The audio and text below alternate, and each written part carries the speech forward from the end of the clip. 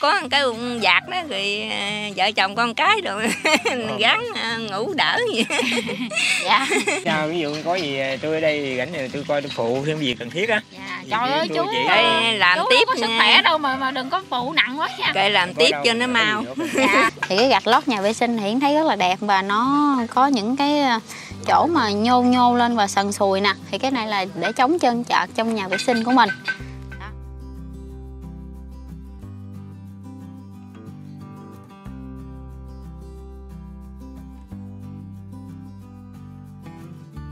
chào cô chú anh chị và các bạn. À, Hôm nay là ngày 29 âm lịch là ngày khởi công làm nhà của chú Thắng. Thì hôm trước khi mà vào đo đạc nhà thì Yến cũng có xem nhà của chú Thắng kỹ là thì những cái phần dách phần mái rồi à, cột là đều hư hết rồi. À, Cho nên là mình không thể giữ lại cái gì hết. Nhà của chú Thắng là coi như phải gỡ bỏ hết à, làm lại. Thì ngày hôm qua là anh đội thợ anh chị đó là đã dỡ nhà rồi. Thì hôm nay là mình à, coi như là mình tiến hành là mình xây dựng luôn. À, À, do là nhà của chú Thắng á, thì có cái diện tích nằm ngang cho nên á, là mình cũng xây nó hơi khó một chút nó hơi khác với những ngôi- nhà trước.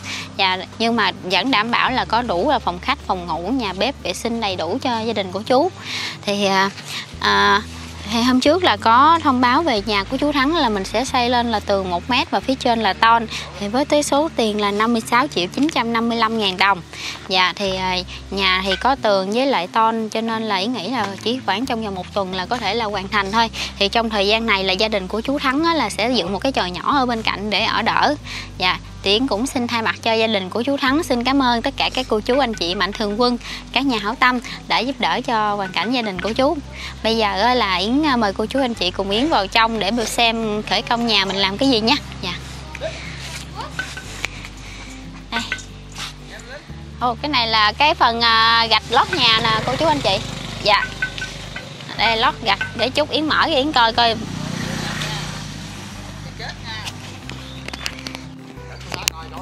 đây về cái phần nhà của chú á, thì hôm trước có nói á, là vào cái mùa mưa thì nước nó sẽ tràn vào và ngập rất là cao. Cho nên á, cái nền nhà là mình sẽ nâng cao lên bằng với cái nền nhà cũ. Mà nền nhà cũ này mình còn lên thêm một chút nữa nha. Thì cái này mình lên rồi à, lên coi như bằng cái này rồi cao hơn cái này một chút nữa. Khi mà mình ờ, hoàn tất lót gạch rồi luôn đó thì sẽ cao hơn cái này nữa. Đảm bảo khi mà mùa mưa tới thì sẽ không có bị ờ, nước tràn vào nhà. Thì cái phần ngoài đây là mình vẫn giữ nó là hàng ba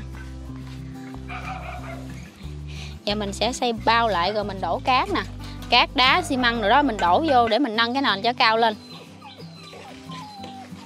Nhà của chú Thắng thì à, có điện, nước đầy đủ cho nên là việc xây dựng thì cũng rất là dễ dàng. Dạ.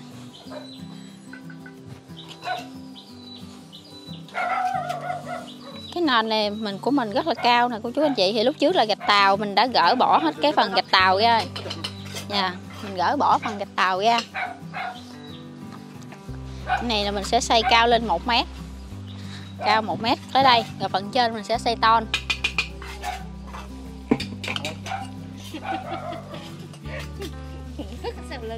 nay có chị đổi không hả? Chị nhiễn không có lại hả? À chị nhiễn làm bên nhà bên kia. Dạ. Rồi cho em xin qua cái nha chị. Đây, nhà của mình là dài tới đây nè. Nhà của mình á đây ngay cái chỗ này là bao cái nhà mình lại nè là cái khu vực này. Dạ. À, nhà của ờ, chú Thắng là dọn như dựng cái chòi to nó bên đó mà lấy mấy cái miếng ton cũ đó. Dựng cái chòi nhỏ nhỏ để ngủ ở trọng ngủ đỡ trong cái thời gian xây nhà. Thì chắc khoảng một tuần lễ thôi. Thôi cô chú anh chị đây là cái phần ờ, gạch của mình lót nền nhà nè. Thì đợt này á, là Yến thấy anh nữa lựa cái màu này giống như là cái kiểu mà đá vậy đó hình giống như là đá hoa cương vậy đó. Thì cái nền này á, là Yến thấy á, lên là rất là sáng nhà mà cũng sạch sẽ nữa. Này, cái này là mình lót nền nhà. Còn đây là sẽ lót ở trong nhà vệ sinh. Thì cái gạch lót nhà vệ sinh thì Yến thấy rất là đẹp và nó có những cái ờ, chỗ mà nhô nhô lên và sần sùi nè. Thì cái này là để chống chân chợt trong nhà vệ sinh của mình. Đó. Gạch rất là đẹp. Hai mẫu gạch này là lót cho nhà của chú Thắng đây. Yến quên nói ờ, nữa là trong những cái ngôi nhà kể từ ờ, nhà của chú Thắng trở về sau thì ờ, tất cả là trong nhà vệ sinh thì Yến sẽ dán gạch lên trên tường luôn trong tất cả các nhà vệ sinh. Như vậy thì sẽ sạch sẽ hơn. À, và cái màu gạch đó thì để tiết kiệm chi tiêu cho gia đình đó, thì cái màu gạch là mình cũng sẽ sử dụng cái gạch mà dán nền nhà ở bên ngoài. À, là đây là cái mẫu gạch này. Giống như nhà chú Thắng lót cái gạch này là nền chính thì mình cũng sẽ lấy cái gạch này dán lên tường ở trong nhà vệ sinh luôn như vậy là sẽ sạch sẽ hơn mà đẹp hơn nữa. Còn nhà gạch nhà vệ sinh thì sẽ nền của nhà vệ sinh thì sẽ cái phần gạch riêng cho cái nhà vệ sinh là gạch này. Nha. ngoài ra thì trong nhà vệ sinh tất cả thì Yến cũng sẽ trang bị thêm cho cái vòi sen. Như vậy à, để cho gia đình sử dụng dễ dàng hơn trong cái việc đi tắm rồi đó. Nha. à, Thì cái chỗ này nè là mình à, xây á Thì à, gạch mình sẽ xây lên một mét thôi thì mình không cần câu sắt. Nhưng mà mình bắt buộc phải xây cái cục gạch này ngang lên. Thì ngang lên là để làm bờ tường như vậy thì cái tường nó mới à, vững chắc được. Thì làm như vậy là đúng với cái quy cách mà mình xây nhà à, xây nhà mà tường lên cao một mét. Nha này là trong kỹ thuật xây dựng cho phép. Dạ. Còn ờ, ở ngoài trước này á là do mình mình không có làm cái cục gạch ngang là vì cái chỗ này là cái hàng ba rồi. Hàng ba thì chỉ lên tới trên đây thôi. Lên uh, coi như lên 3 tấc đó là lên bằng cái cái ờ, cái nền bên bển thôi chứ không có lên một mét chỗ này lên một mét thì mình mới bắt buộc mình mới xây cái cục gạch ngang qua như vậy. Dạ. Ở dưới đây á, là mình đã đổ thêm ờ, cát xi măng đá vô cho nên nó là cái chân tường này nó rất là chắc chứ nó không có phải là lỏng lẻo. Dạ thưa cô chú thì bữa nay á, là mình ờ, khởi công làm nhà. Thì à, như thường lệ thì ngày khởi công thì mình sẽ trao trước à, phân nửa cái số tiền à, xây nhà cho anh thợ để à, mà anh thợ đi mua vật tư rồi đó cô chú. Dạ, thì à, hôm trước đó là có bàn cái giá xây nhà của mình đó là 56 triệu 955 ngàn đồng. Thì mình sẽ à, đưa trước 25 triệu. Dạ, thì cái phần này là nhờ cô à, trao cho anh Thợ nha Dạ, để à, trả tiền.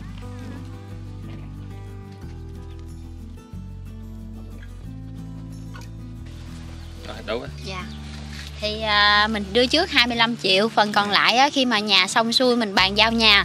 Thì à, lúc đó là coi coi nhà coi có còn chỗ nào chỉnh sửa gì nữa không đó. Thì lúc đó bắt đầu mình mới trả cái phần tiền còn lại cho bên thợ ha cô chú ha.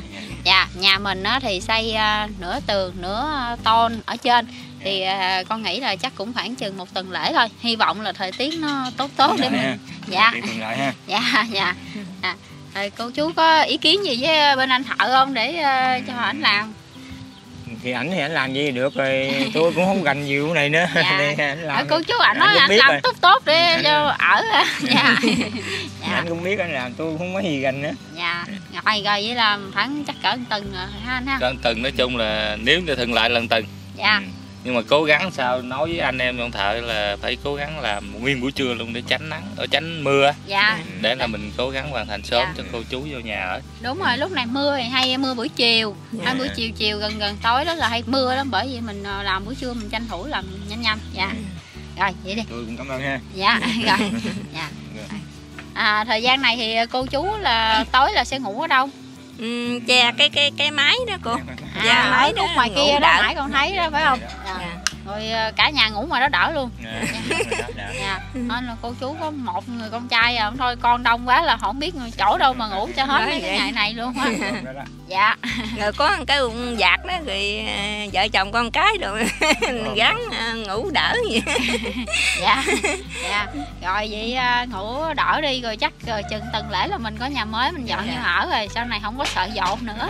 Dạ. Dạ thì à, để à, con coi trong nhà coi à, có hư giường hay tủ gì đó thì con sẽ mua lại cái mới. Thì tới cái ngày bàn giao nhà thì con sẽ nhờ chở vô luôn cô chú khỏi làm gì hết á. Rồi trong cái lúc thi công này nè là cô chú cũng không có cần phải chuẩn bị cơm nước gì hết. Dạ. Dạ thời cái này là bên anh chị đội thợ là đều có chuẩn bị rồi hết rồi. Dạ à, cô chú là chỉ cần coi thôi coi cái chỗ nào làm không được đó thì nói với anh thợ nha dạ. dạ. Sao, ví dụ có gì tôi ở đây rảnh thì tôi coi tôi phụ thêm gì cần thiết á. Dạ trời ơi chú chỉ- Đây, làm chú tiếp không có sức khỏe đâu mà mà đừng có phụ nặng quá nha. Kệ làm tiếp cho nó mau. Dạ. cho mau rồi. không lạnh để tôi mưa rồi cái cái cái máy đó trời mưa nó nó nó cũng tạt nữa. Dạ dạ. Dạ nha tối tối mình canh canh coi chừng ra lấy vật tư đi thôi. Không có sợ gì hết đó dạ rồi vậy à, cô chú à, gán nha khoảng Dạ, chừng dạ. tuần lễ nè. Thì, thì con cũng sắp xếp coi nếu mà được thì con sẽ đi vô để con coi. Dạ dạ dạ. cảm ơn cô Dạ, chú nhiều. dạ, không phải có giúp đâu cái này của cô chú anh chị mạnh thường quân giúp Dạ, đỡ cho dạ, mình ha. Dạ, dạ. dạ kính thưa cô chú anh chị thì hôm nay là đã làm xong lễ khởi công à, nhà của à, chú Thắng. Thì à, dự định đó là nhà của chú sẽ xây trong vòng một tuần lễ trở lại là sẽ hoàn thành. À, mong là thời tiết nắng thì nhà có thể xong sớm hơn. Thì nãy Yến có đi một vòng khảo sát sát nhà của chú thì Yến thấy là à, những cái đồ đạc trong nhà giống như là giường tủ thì đa số là đều bị mục và à, lâu đời đó. Cho nên là bị mục rồi ờ, hư hại rất là nhiều cho nên là cái ngày mà bàn giao nhà thì có thể là Yến sẽ mua lại cái giường tủ mới cho chú để ờ, sử dụng ở trong nhà Dạ, thì à, Yến cũng xin thay mặt gia đình xin cảm ơn tất cả các cô chú anh chị mạnh thường quân, các nhà hảo tâm đã giúp đỡ cho gia đình của chú Thắng, đặc biệt là có một cái ngôi nhà mới. Dạ, Yến cũng xin cảm ơn cô chú anh chị đã theo dõi video của Yến. Yến xin chào và hẹn gặp lại.